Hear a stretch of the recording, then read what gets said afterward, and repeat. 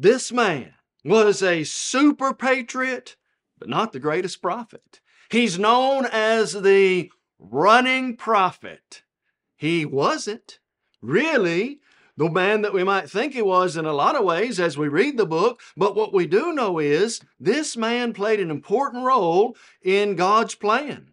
In fact, this man did something that's never happened to anybody else in the Bible. Did you know this man had the single greatest response that's ever recorded in Scripture?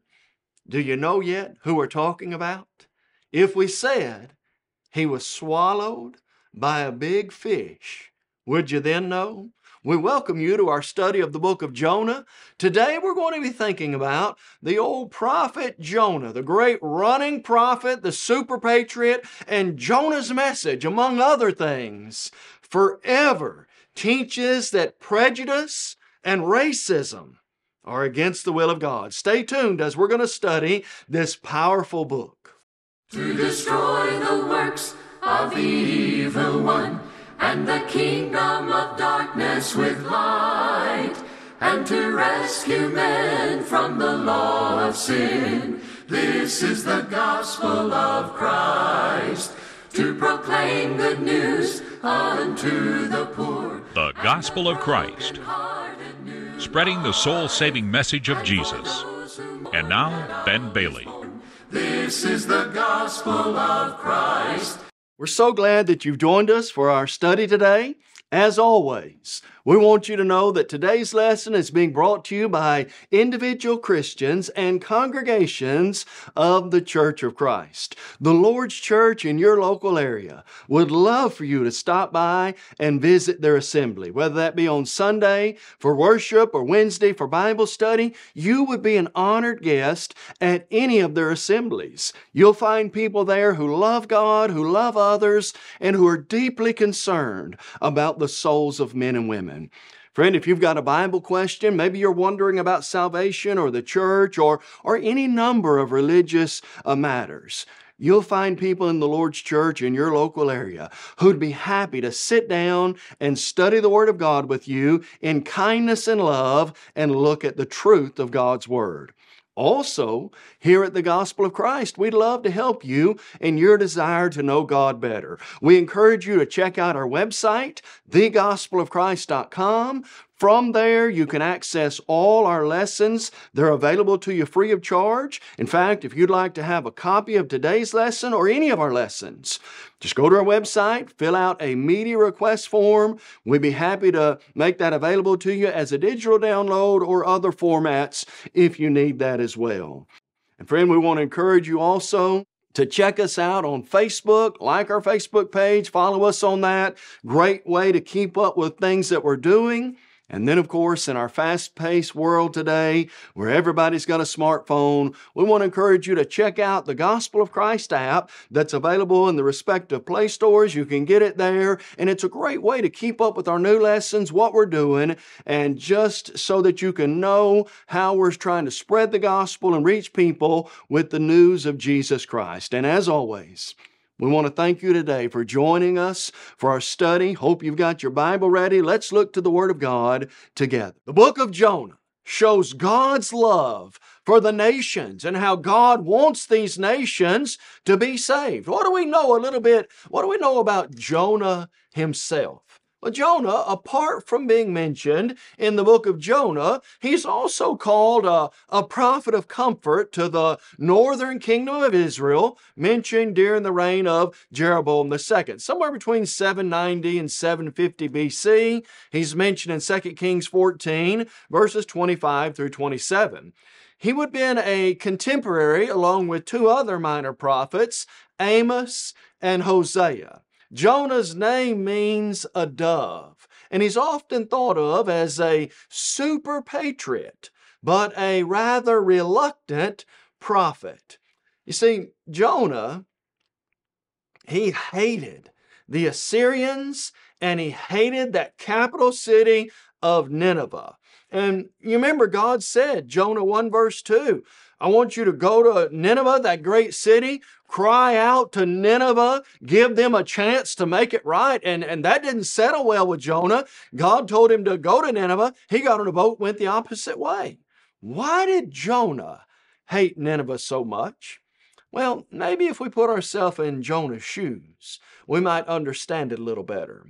Assyria was the nation God used to punish his people Israel, mentioned in 2 Kings 17, verses 7 through 8.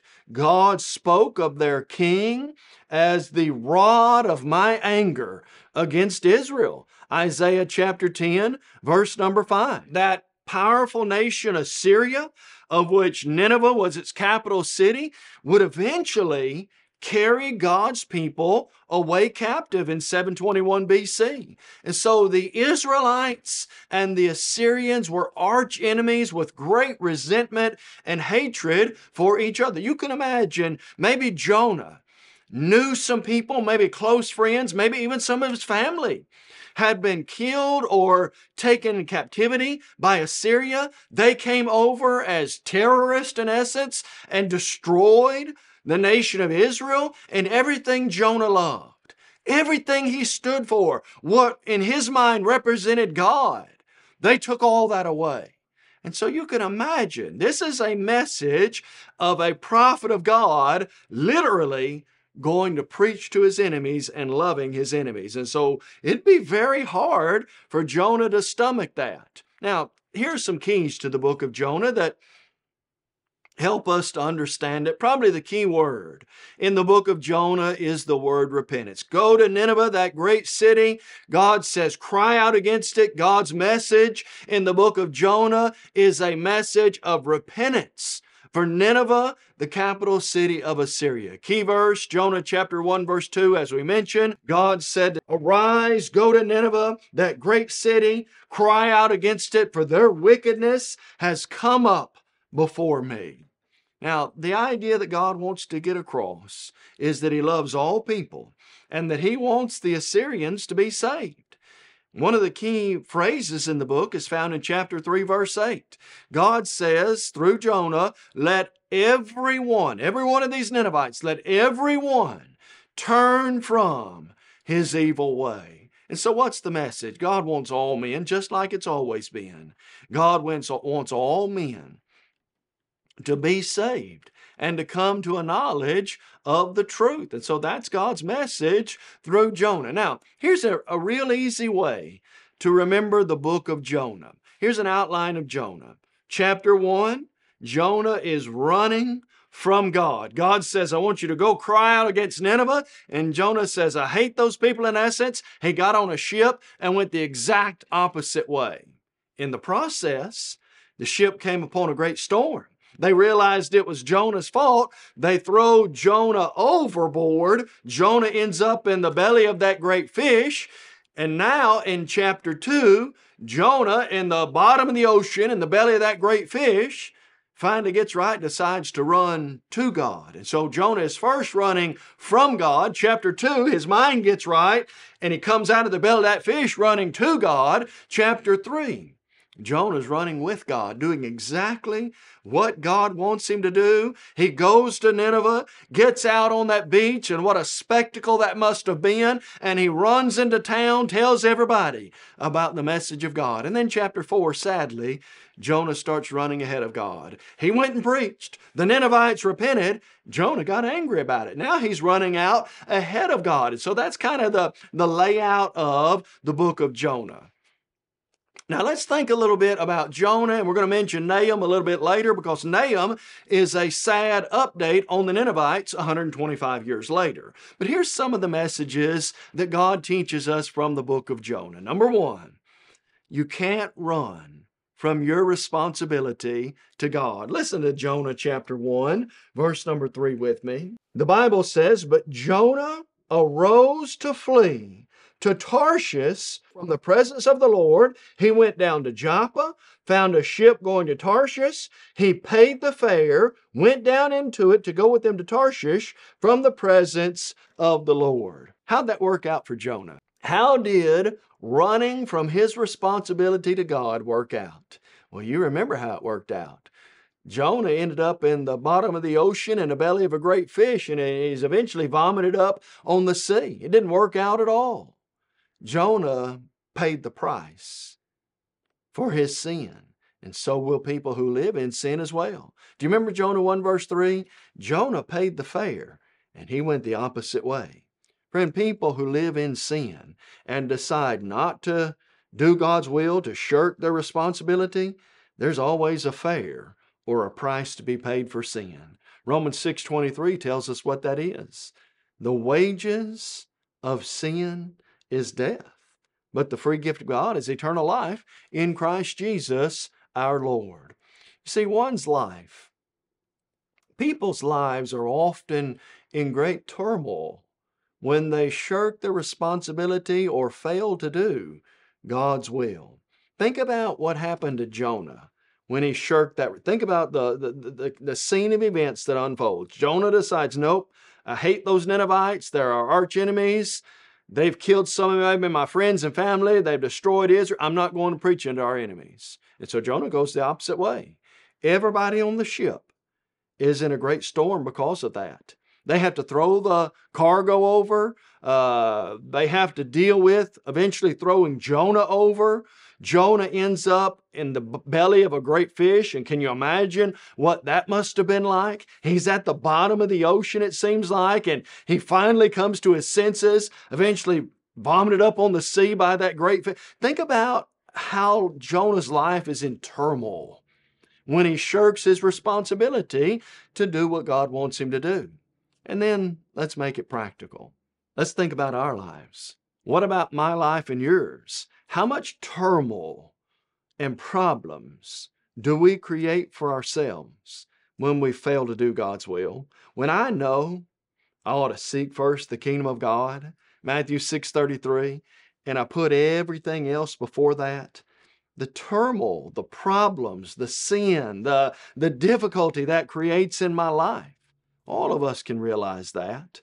When I know that I need to obey Jesus and obey God's word, and I put other things in place, the, the sin, the turmoil, the heartache that comes into that. This is such a powerful lesson that we learn from the book of Jonah about how problems are, we create problems for ourselves when we fail to obey the will of God. Let's consider a few other practical truths from the book of Jonah. When Jonah is cast overboard, storm settles down, he's cast overboard, finds himself in the belly of that great fish. You know what Jonah realized? I need to, I need to seek God for help. Jonah turned to God in prayer. And as you read chapter 2, Jonah basically prays a prayer to God for the difficult situation that he's in. And there's some really unique language about how Jonah feels in that situation. And Jonah, he's eventually cast out of the belly of that great whale. From when I find myself in difficulty and turmoil like Jonah did, I need to turn to God in repentance and change my ways. Luke 18:1 men ought always to pray and never lose heart. The effective fervent prayer of a righteous man it overcomes much. This is why we pray without ceasing. 1 Thessalonians 5:17 This is why we come boldly to the throne of grace. This is exactly what Jonah did. Jonah came boldly to the throne of grace to find grace and mercy to help in his time of need. And friend, that's what we do today. Hebrews chapter 4, verse number 16. Another practical lesson that we learn from the book of Jonah is this. We need to preach the preaching that God tells us. I love Jonah chapter 3. When Jonah comes out on that beach after being vomited out of the belly of a whale. Jonah gets the point of the great fish. And look what it said in verse number two. Here's God's message to Jonah Arise, go to Nineveh, that great city, and preach to it the message I tell you. You know what Jonah didn't do this time? He didn't go the opposite way. Jonah got to running with God, and he went to Nineveh and he preached the message of God. Friend, as Christians, we need to have the courage, even when it's difficult, even when it's hard, even when we may not necessarily approve of or like the way people live their lives and treat us. we need to realize it's the message of God that'll turn all that around. The, the Paul said in 2 Timothy 4, verse 2, preach the word. 1 Peter 4:11, speak as the oracles of God. Paul said, I've not shunned to declare unto you uh, uh, the whole counsel of God. Acts 20, verse 28. I kept back nothing that was helpful. The Word of God is living and powerful and sharper than any two edged sword. It pierces heart, it hearts, it changes minds, it, it redirects the course of people's lives, it makes enemies into friends, it makes people who were once haters of God lovers of God.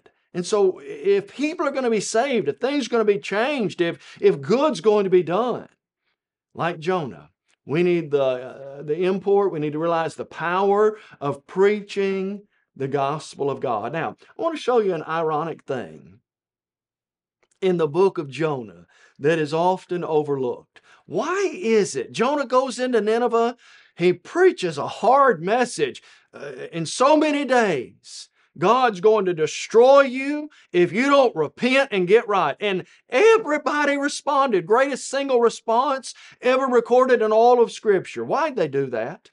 Well, see, here's the irony of it. The people of Nineveh, they worshiped a idol called Dagon. Dagon was the fish god. Uh, statues and images that we have found from that era. It's a half man, half fish looking idol. It was their main deity. Everything they did was based on that.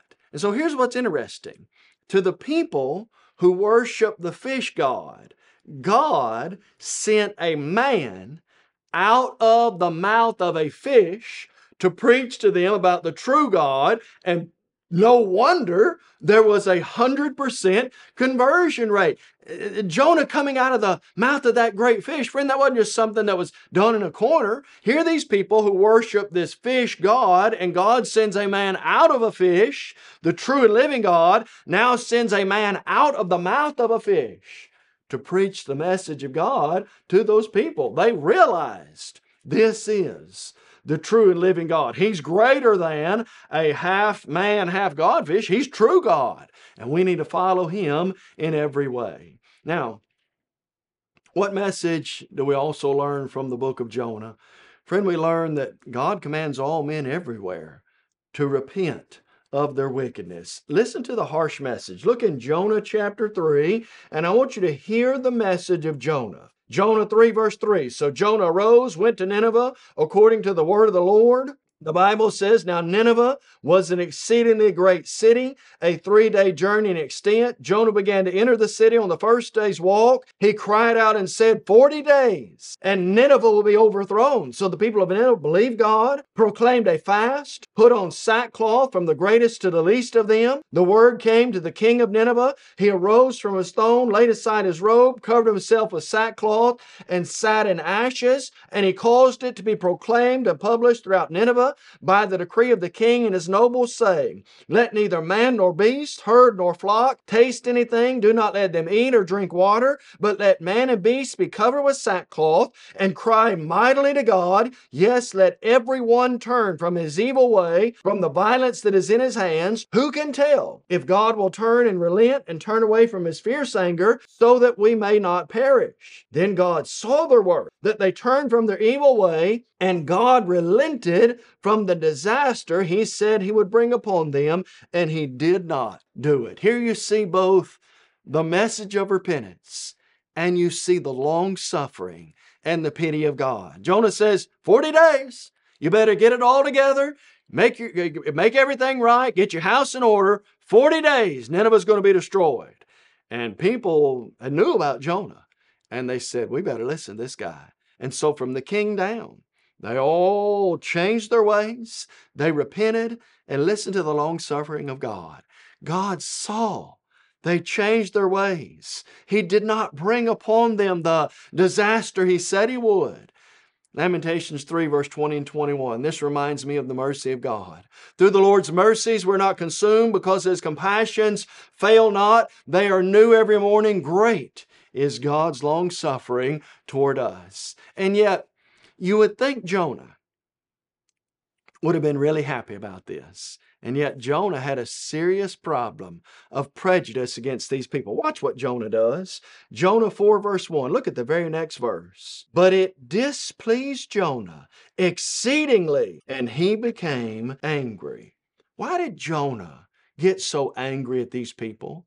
That's how prejudiced, that's how racist, and that's how it offended Jonah that these people. What did Jonah want to happen to the Ninevites and the Syrians? He wanted God. In 40 days, it would have been one of the best days Jonah had ever seen if God had destroyed Nineveh. He was probably looking forward to that. And yet, when that didn't happen and God forgave them, Jonah got exceedingly mad. He wanted those people to die and go and be lost.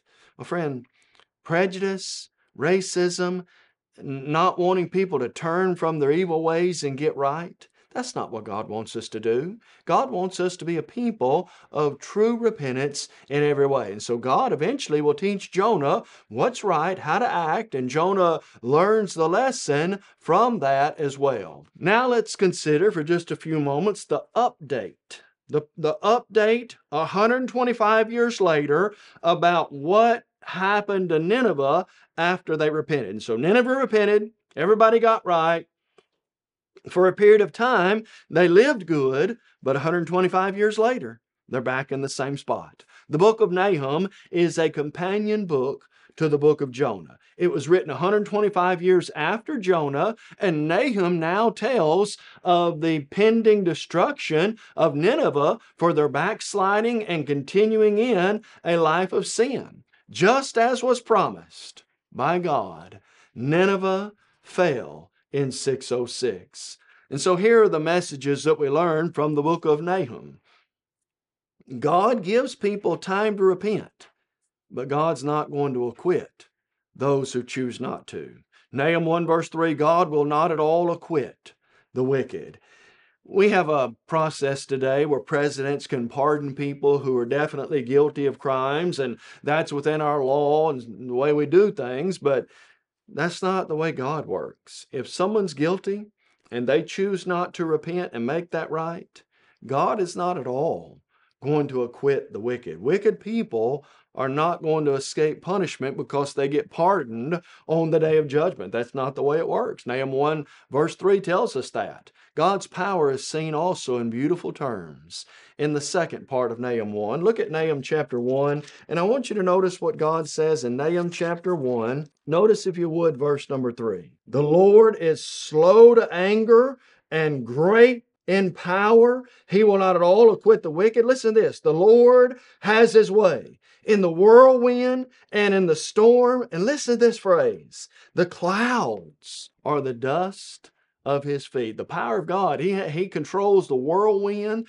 the tornado, and the storm. Who's behind that? The Almighty. How powerful is he? The clouds are like the dust of his feet. Isn't that a beautiful picture of the power of God? Now, we know that God's not going to acquit the wicked, but here's what we also know. From the book of Nahum, God tells us he is a refuge for the right in a time of trouble. Look at Nahum chapter 1, verse number 7. The Bible says, The Lord is good, a stronghold in the day of trouble, and he knows those who trust in him. People who do right and follow God, they can run to God.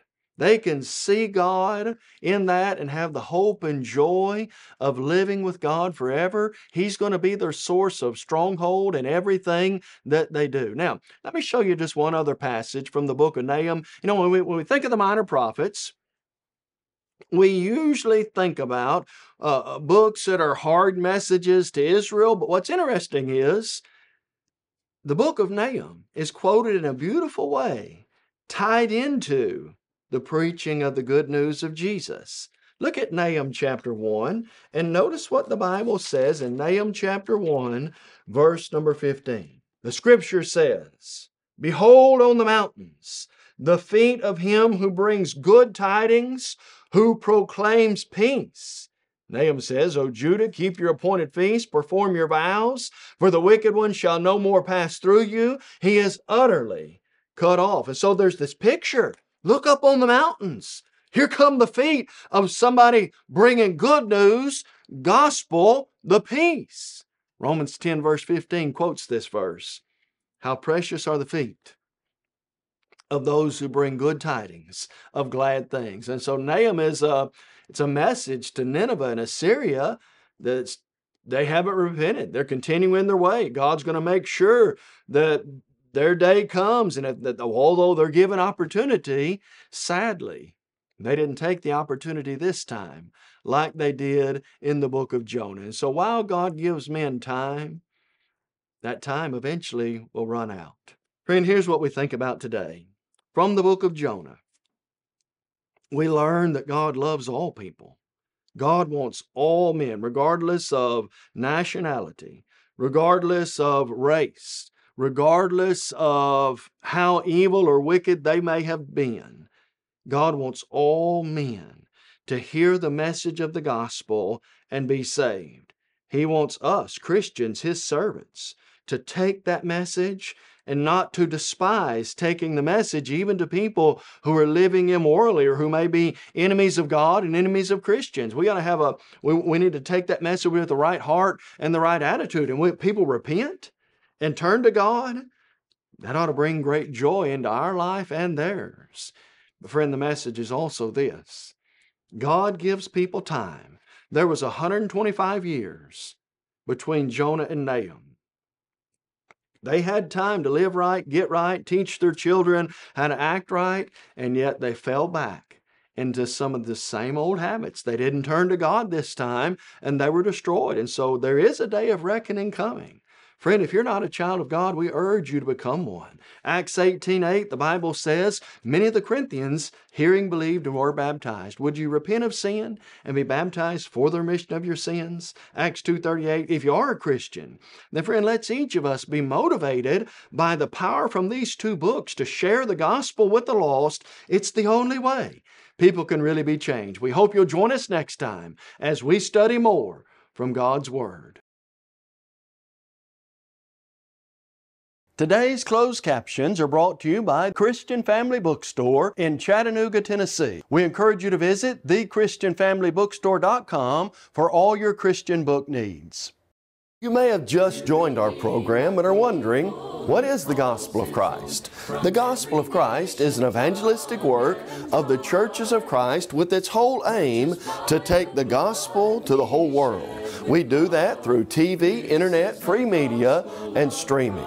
Our motto truly is to take the whole gospel to the whole world, and we believe in having a book, chapter, and verse for everything we say and do. And unlike many religious programs today, we're concerned about lost souls, not your wallet. Visit thegospelofchrist.com for a host of Bible study materials, including audio and video of our lessons. Request your copy of today's lesson by completing a media request form online. On demand downloads are also available thegospelofchrist.com. We would love to hear from you. Email us at mail at thegospelofchrist.com or call 844 6 Gospel. You may write us at the address on your screen. Search your app store for The Gospel of Christ to access our mobile app on your smartphone.